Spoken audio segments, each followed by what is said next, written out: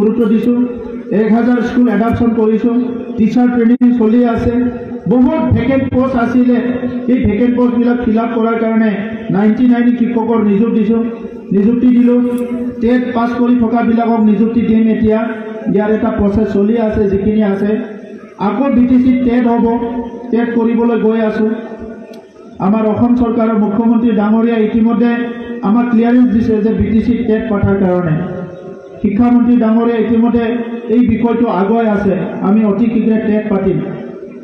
আৰু প্ৰথম কথা আমি কৈছিলোঁ যিহেতু ময়ো এই বেকগ্ৰাউণ্ডৰ পৰা অহা যে চাকৰি যদি ওলায় কোনো ঘোচ দিব নালাগে।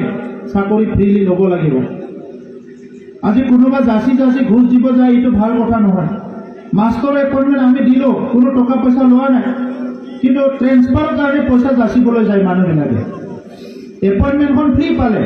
কিন্তু তাৰ পিছত অফিচাৰক কয় যে পঁচিছ হাজাৰ টকা লওক ত্ৰিছ হাজাৰ লওক মই এইখন